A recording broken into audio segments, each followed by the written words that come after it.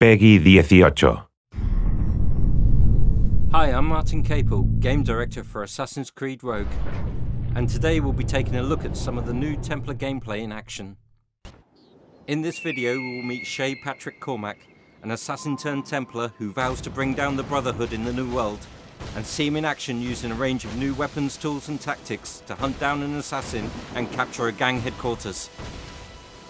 This is the River Valley, our brand new location that provides the first truly hybrid gameplay, bringing naval and land together in one seamless world and experience. The River Valley is set in the American interior, where the colonial forces of Britain and France fought for supremacy during the Seven Years' War, and the waterways were a lifeline for both nations. Shay's ship, the Morrigan, is equipped with the most advanced weaponry for its day. First of all, we see the carronades, front cannons that fire explosive shots able to damage and stun enemy ships. Then we move in to finish off our opponents with the ram. Besides its weaponry, the Morrigan is also faster and more maneuverable than the Jackdaw from Assassin's Creed 4, allowing you to turn tighter and avoid enemy fire more efficiently.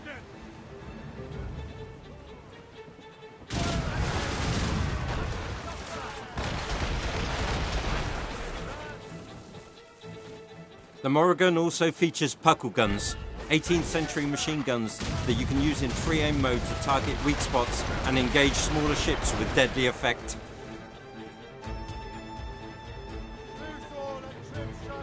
And if you find yourself being chased, then you can use another Templar tactic, the burning oil barrels.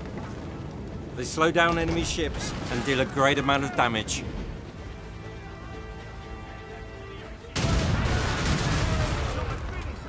With the enemy ships destroyed, we can now proceed with taking over the gang headquarters.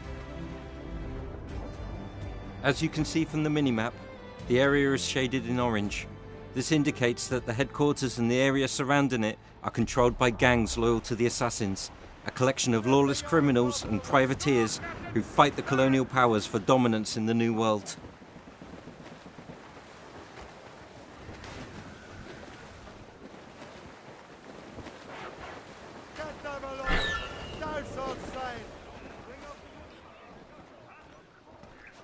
As you step ashore, you will see the objectives you need to complete to take control of the headquarters.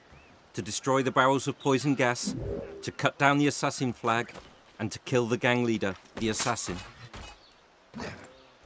Shay's new arsenal includes an air rifle and grenade launcher. The grenade launcher uses a range of area effect ammunition types, such as the sleep grenade, while the air rifle offers more precision.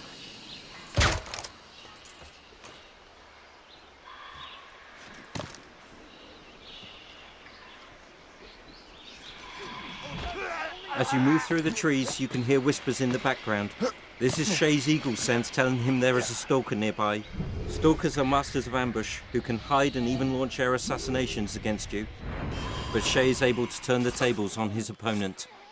In Rogue, we encourage players to use all the tools at their disposal to manipulate people and to create confusion and diversion.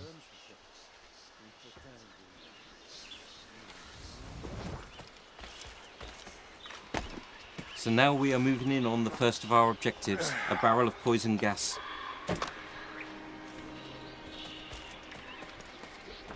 Shay climbs the building to shoot the gunner with a sleep dart,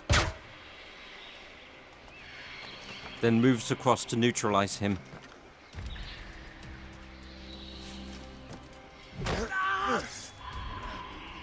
Using a firecracker dart, Shay splits the barrel, spilling its contents and affecting those people closest to it. Moving on to the next barrel, this time we will get in close. For Rogue, we have improved the navigation, making it easier to access high places and to move around freely and fluidly.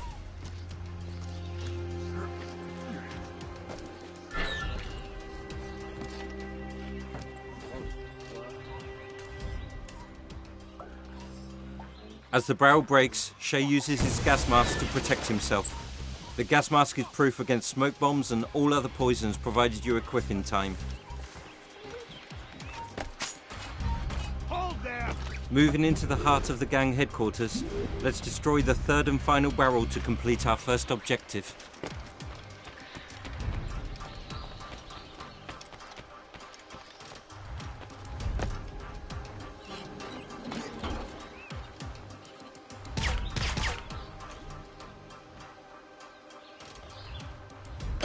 Again, Shay uses a firecracker dart to destroy the barrel. This time you can see a prisoner being affected by the gas and join in the fight. An injured guard using a smoke bomb, and guards coming in to attack the berserked enemies and becoming berserk themselves.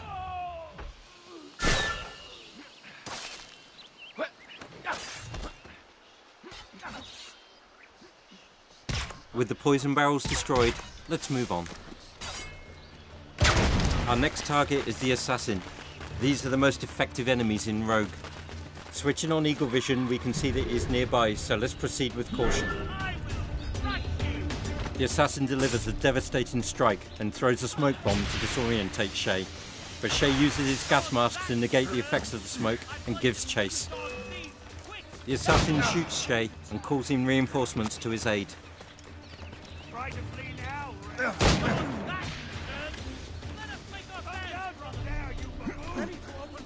Using one of his enemies as a shield against the gunner, Shay deals with these guards and resumes the hunt for the assassin.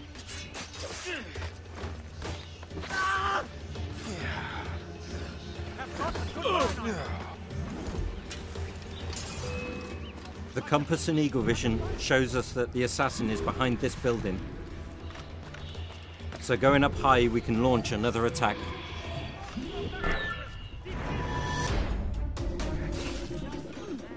This time, the assassin uses smoke to try and stun you, while he and his men attack.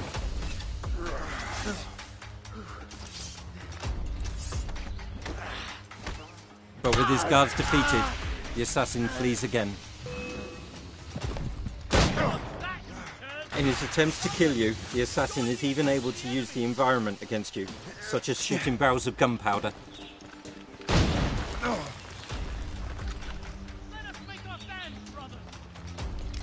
Finally, Shay takes to the rooftops to chase the assassin down and succeeds in eliminating him using an air assassination. With the assassin neutralized, the final objective is to tear down the symbol of gang control, their flag.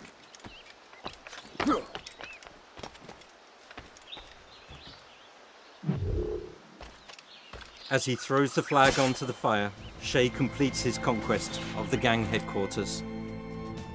We hope you've enjoyed this latest glimpse into Assassin's Creed Rogue, and we look forward to you joining us and Shay in his epic adventure.